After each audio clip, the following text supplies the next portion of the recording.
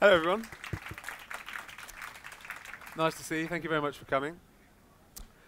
Richard Flanagan is an Australian novelist from Tasmania, whose most recent book, The Narrow Road to the Deep North, won the Man Booker Prize on Tuesday evening, as I'm sure you know. Set around the period of the Second World War, but moving backwards and forwards through time, The Narrow Road details the building of the Burma Death Railway in Thailand by prisoners of war, many of whom were Australian, at the hands of the Japanese. It won, according to the chair of judges, because of the beauty of the writing, the profoundly intelligent humanity, and the excoriating passages of great power. To discuss all of the above, please welcome the 2014 Man Booker winner, Richard Flanagan. Thank you. Hello. Make yourself comfy. Ah, thank you, Paul. Um, first of all, congratulations.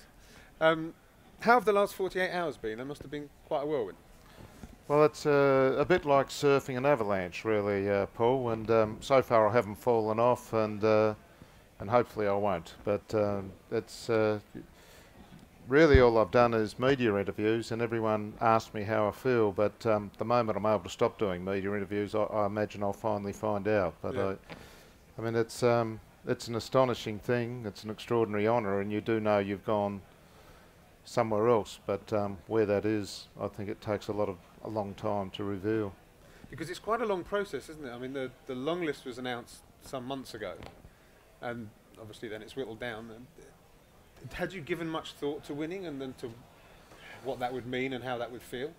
Uh, I'd given enormous thought to not winning, and uh, I was um, I was quite content with that. You know, it, it, it was an honour to make the long list, um, and I was, um, you know, I was stunned, and then after a while I was hungover, and that that that seemed um, that seemed pleasant enough. And then uh, I was in Seattle on an American book tour, and um, the phone rang at three o'clock in the morning, which was the time they announced the, the shortlist here. And I've been upgraded to um, a rather bizarre sort of northwest hotel room that had a spa in it. So it, it was like sleeping in your laundry. There, there was a there was a normal hotel room with a bed, and then there was a large bit of sort of um, uh, plumbing. And um, and so I was in that darkened hotel room. The phone rang, and I thought I must have missed a plane or something, and it was an alarm. And I leapt up and I fell into the spa, and they uh, they they told me I was on the short list. So um, While a I- jacuzzi was swirling around you. yeah, yeah, I had to pretend to be delighted and not dying. And uh, but um, uh, when I came to, no, I, I was um, I was thrilled. And um, and then this last week and a half, I've I've spent here with the other shortlisted riders, and they were um, a lovely bunch of people, and uh, such gifted riders. And it it was such an honour to be a writer amongst those riders.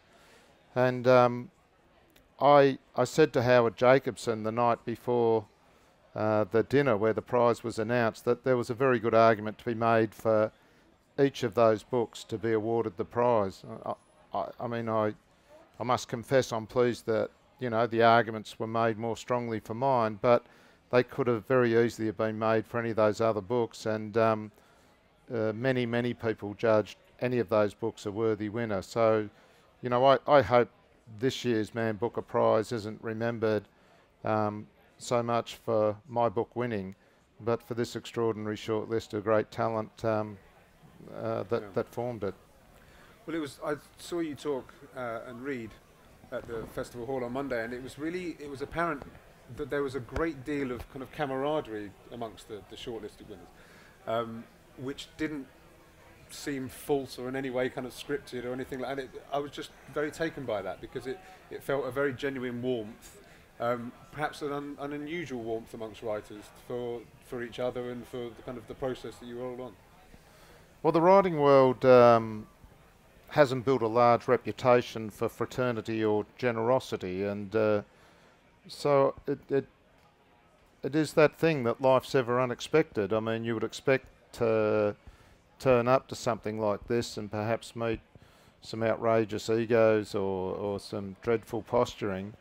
And um, there was none of that. that, that I, and I think it was because they were all considerable talents who knew their own worth, um, but who also understood that these uh, these prizes are um, a piece of fortune, and uh, to, to be a rider is to experience bad luck, and hopefully, if you're you know a little bit of good luck. But you you must see both of them for what they are and not take them too seriously. And I think they were they haven't succeeded. None of those riders had succeeded to the extent they had uh, by um, having a false idea of life or what good and ill fortune mean.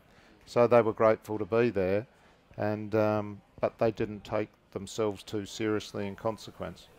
Who did you think would win then? Me. well, I, am always well. I I was um, I'd arrived at a place of um, great equanimity by Tuesday night, knowing I wouldn't, and um, I'd already done what you're not supposed to, and started reaching for the bottle early, and uh, I was ready to, you know, excitedly um, applaud anyone else. I um, I, no, I had no idea, and everyone I spoke to in uh, English publishing English writing who knew anything um, said the same thing that it was impossible to call because it was such a strong shortlist. So uh, the only people who seemed to speak with any authorities were the bookies, but they pretty much got it wrong anyway. Yeah. So. Um, you said when the book was published that you knew this was a book you had to write if you were ever going to write another book. Can you explain what you meant by that? Well, my uh, my father was a Japanese prisoner of war, and he was a survivor of the death railway.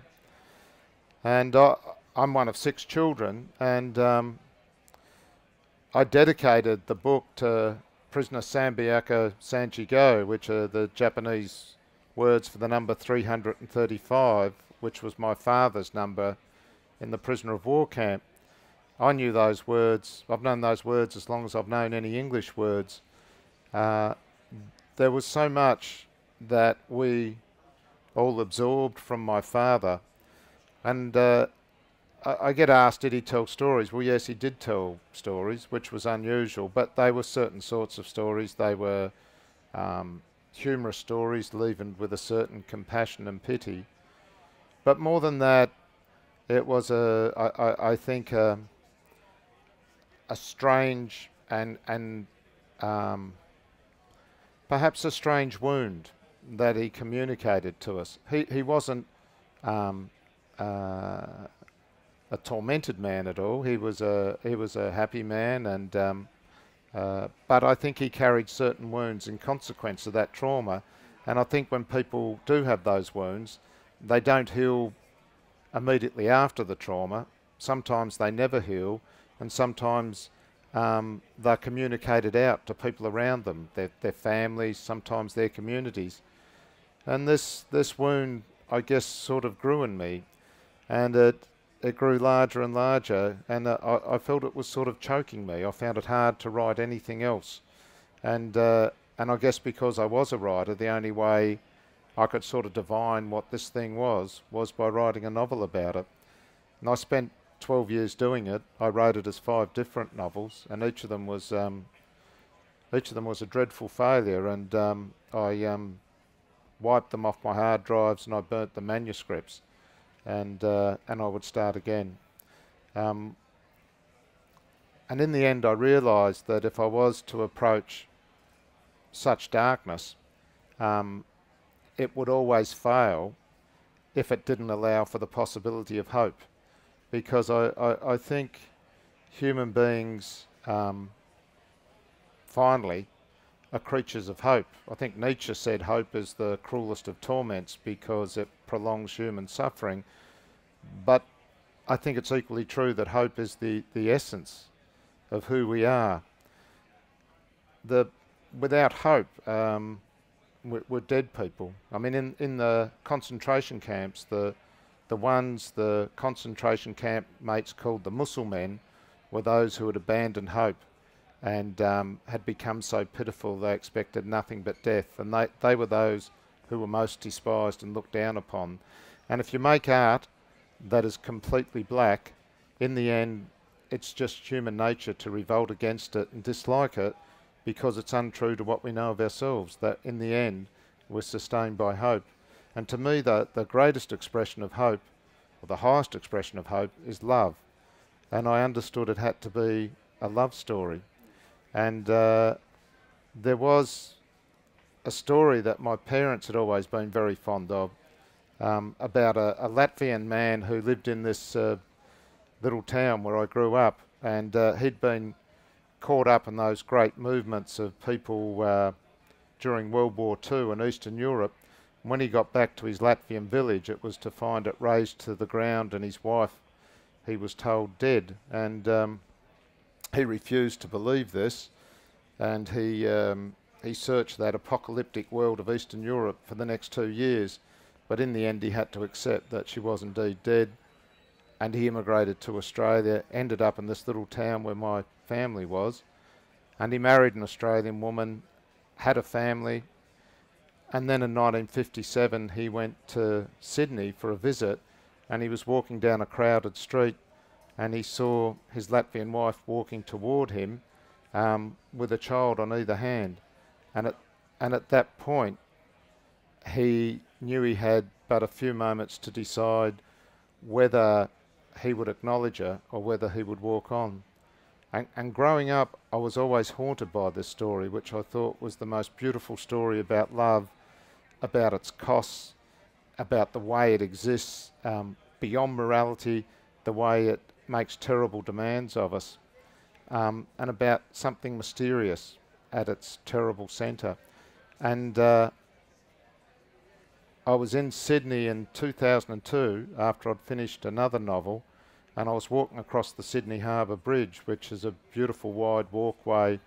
It was late afternoon. It's a it's a, a beautiful um, a beautiful place to be, and uh, I suddenly thought of what it would be like to be a prisoner of war many, many, many years after the war, to be walking across that bridge in that beautiful late afternoon sun, and uh, to see a woman walking towards you who you'd thought dead um, since you were in the prisoner of war camp, um, and to see her cat walking towards you alive. And I actually rushed back to a pub just near the bridge, and I, um, I borrowed a biro off the barman, and I wrote what became um, really the defining chapter of this book on the back of beer coasters. And um, that's really how the book begins with a love story, and a love story is defined. And I've wasted too much time explaining all that. I'm sorry. Not at all. Not at all. I'm just glad that there's actually a use for beer coasters these days. The um, the imperishable, incorruptible yeah, format of beer coasters. Quite. Yeah. Um, you said it took 12 years to kind of get this book into its form that we know now. Um, obviously, your father knew that you were you were writing it. What kind of um, influence, I suppose, did he have on the writing? I mean, you were able to talk to him about his experiences. Did he want to see the manuscripts? Did he? Did you show him any of the, the works as they were going along? My father gave me the greatest of gifts. Really, he he trusted me that I wouldn't get it wrong. He was interested in the fact I was writing this novel, but he never asked me what it was about beyond the broadest outline that it had something to do with Japanese prisoners of war. He um, he never asked to see any drafts. He he allowed me to be free to be what I had to be, which was a novelist. Um, as I said, I wrote five different versions, all of which failed. And then I realised my father was growing very old and frail. And for no logical reason, I felt that if I didn't finish this book before he died, I would be unable to finish it, which which makes no sense. Uh, but it it impelled me to to to now return and try and find a way of writing this story. Uh, and I did spend time with him, but I never really researched or interviewed him. But I would ask him about very material details, what what the what the smell of a rotting shin bone that had been opened up by a, a, a blossoming tropical ulcer might smell like. What did a little sour rice ball feel like as it made its way into your intestine? Um, uh, what um, what does it feel like to have um, a bony foot cut by the cleft of a limestone rock? And That he had recall of that level of, of detail. He liked these questions because they weren't emotional questions, but they allowed him to think about his world, and it allowed me to think about it because in the end, we don't live in a dramatic world. I think we live in a material world where um, love is the scent of um, someone else's sleeping back, and, and death's just a shudder of bad breath. That's how we understand and know life. The idea of uh, of drama, of um, pity, of love. These things we we come to later on in in our um, memories and understanding. But at the moment, in the moment, we know the whole world just through our senses.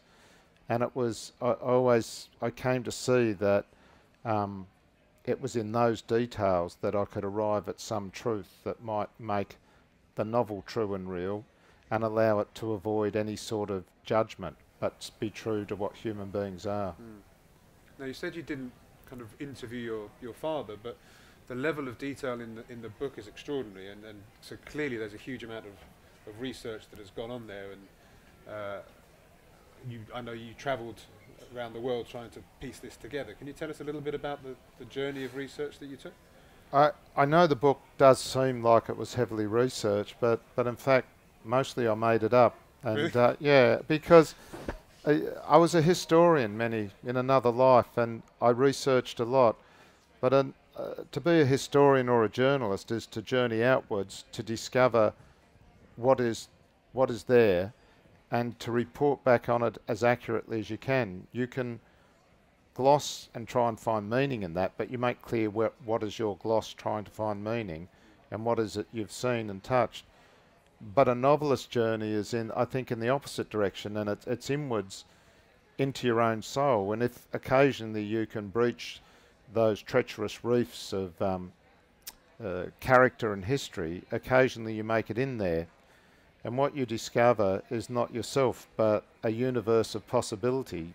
Um, all the living and all the dead, all, all hate, all love, um, all possibilities of what it is to be human. And is that that you then seek to communicate back to the reader. And to do that, you throw over this motley of story and character. Um, but you don't need much research to do that. I, it's not so hard to imagine what it might be like uh, to be starving in a, in a muddy hill, you know. But but you just must describe accurately what you what you see and what what you think it would feel like. Um, but the latter part of your question was about some of the places I went. I did go to. It is true that that I did go to Thailand and walk the Death Railway. Um, but more importantly, near the end of writing the book, I went to Japan. Um, I didn't want to go and I put it off for a long time, but I knew there were some um, POW guards still alive, and so I, I went there to try and find them and to talk to them. And I didn't go in a spirit of accusation or judgment because I wanted the book not to be about that, and, and it, it would not have helped to accuse them or judge them. I, I wasn't interested in that. I just wanted them to talk to them about similar things that I talked to with my father about the material things and also about their worlds, about their upbringing, their childhood, and also what, what had happened to them post war and try and arrive at some understanding. So I, I, I met several guards, um, including some, as it turned out, who'd guarded my father including one who'd been the, the Ivan the Terrible, my father's camp, um, a man the Australians knew as the Lizard, and and and that was a very strange meeting. Um, but he was a uh, he was a man who was um, had been sentenced to death for war crimes uh, in 1946, had the sentence commuted to life imprisonment, and then was um, released in a general amnesty in 1956. I spoke with he, he, he was when I met him a, a gentle and gracious old man. And we spoke for about an hour and a half, and um, and then for reasons that I, I, I for the, the, I guess there weren't really any real reasons. I I, I just asked him to slap me because slapping was the principal form of punishment in the camps. It's called Binta, is that right? Binta, yeah. And um, I'd talked about Binta with him, but he'd been very strong on the fact he wasn't violent. I, I knew he had been very violent. Um, but I was interested in what it would feel like to be slapped.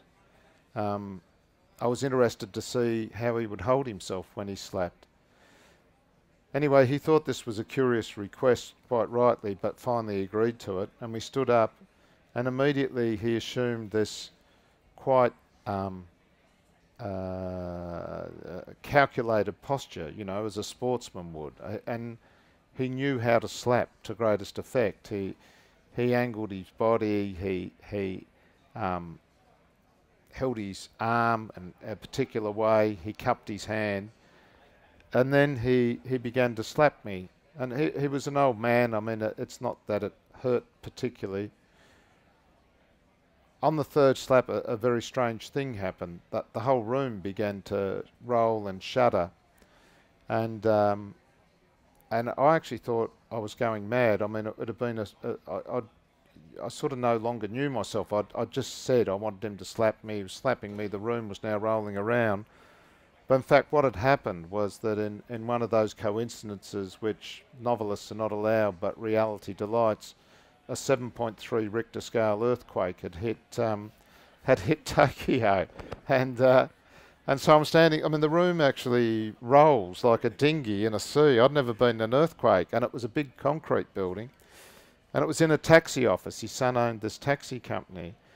And um, there were all these keys on the wall, and, the, and they were all making the shimmering tingle as they swayed up and down.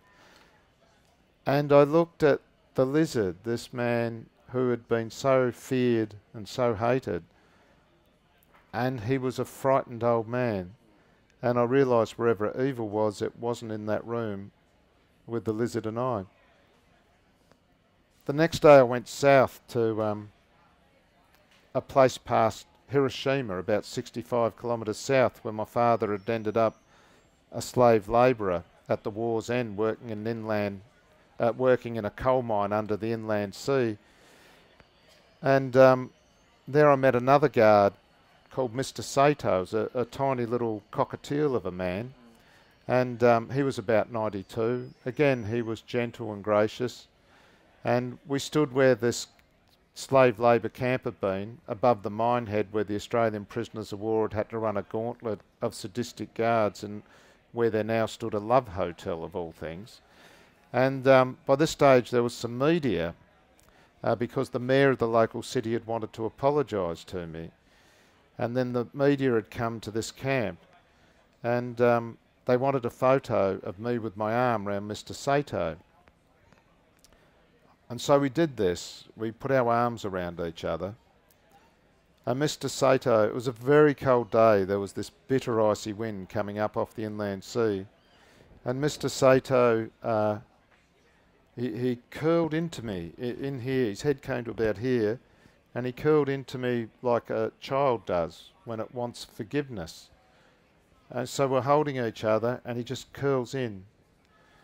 And then the photographs are taken, and I take my arm away and he just continues to stay there, just curled in. Uh, and I realise there's, you go somewhere hoping for understanding and explanation, and all you understand is that there's a strangeness in the world beyond any sort of words. So I, I came back to Australia, and um, within a few hours, my father rang, which was uncharacteristic of him. Uh, he was very old by now, he was 98, but his memory was still very good and his recall excellent. And he asked me what had happened in Japan, and I'd said I'd met these different guards, um, that they'd. Um, I didn't think they felt guilt, but I felt they all felt a deep human shame and I told him what they'd told me, which was to pass their apologies on um, from them to my father for what had happened to him and his friends. And my father couldn't talk, and um, he said he had to go. and later that day, he lost all memory of his time in the prisoner of war camps. And he knew he'd been there. As you know, you've been a baby in the womb, but he no longer, he knew it intellectually. He didn't, he no longer, this man who had the most extraordinary recall of it, no longer recalled anything. And yet he remembered everything before his prisoner of war camp experience and everything after. And uh, my sister said to me, it, it, it is as if he's finally free. So that, if you can call that research, that was research. I, had gone to these places hoping to be able to divine something about, um, about evil, yeah. about why people do these things. And in the end, I'd come back and I realised I understood nothing. And I went back to my table and kept on making it up. Extraordinary. Um, well, Richard has agreed to read uh, a short passage of the of the novel to us. I think your book is being presented on a platter. This is just a short reading, but the the context for it is that um, central to the novel is one character who, at the beginning of a one day in the prisoner of war camp, is um, folds his blanket um, the wrong way in contravention of the prison camp regulations and his rifle butted by a guard in consequence. And this sets in train a series of small physical setbacks through the day that culminate in this man finally being beaten to death um, for a crime he didn't commit. Um, and so this takes place, uh, this chapter takes place after the war. Decades later, Jimmy Bigelow would insist that his kids always fold their clothes so, fold ever outwards. He would open the drawers of the chest of drawers in their suburban weatherboard home in Hobart to make sure that they were safe and the fold was out. He would never hit or smack them for not folding their clothes with the fold out. He would beg and plead. He would order and demand, and in the end, exasperated, he would refold and restack their clothes himself as they stood by nervously waiting. He would feel some nameless terror that was beyond him to explain, a confusion they too would carry with them for the rest of their lives that was both love and fear, that was beyond the drawers opening and closing beyond their father's frustration and mumbling. He knew they didn't understand. But could they not see? How could they not know? It should have been so obvious what had to be understood. You could never know when everything might change. A mood, a decision, a blanket, a life. They knew none of it. They only knew that, whatever they did, he would never hurt them. At the very worst, he would throw them over his knees, bring his hand up, and then hold it there, hovering over their bottom. Sometimes they would feel him shaking through his knees and thighs. They would still look upwards and see his hand trembling his eyes watery. How could they know that their father was desperately trying to protect them from the unexpected smash of a rifle butt into their soft child's cheeks? To warn them of what horrors this hard world had ready for the unwary, the unwise, and the unprepared, to prepare them all for those things for which no one could ever be ready. They knew only this one thing that he would never hurt them. As his body trembled back and forth through time, they knew what he meant when he said, Radio, and suddenly threw them off his lap and back onto their feet. Averting his eyes, he would wave them away with an extended hand. That's it. Radio, just Just put the fold out next time. Out. Always out. Radio. And they would run outside into the sun. Perhaps he wondered he didn't make the time or space he should for love. He fitted it in and it flitted away. Perhaps he somehow chose. Why, he couldn't say. The predictable lines of work over love's wild circling, the folding of a blanket over the unfolding of locked arms. But sometimes it was just there, staring out an open window to see little Jody look up and wave to him with the biggest smile. He was shocked to see love playing in a backyard of brown grass under a sprinkler's diamond spill. Shocked to know he had been lucky enough to live and know it, to love and be loved and he would watch his children playing outside in the sun. Ashamed, amazed. It was always sunny. Thank you.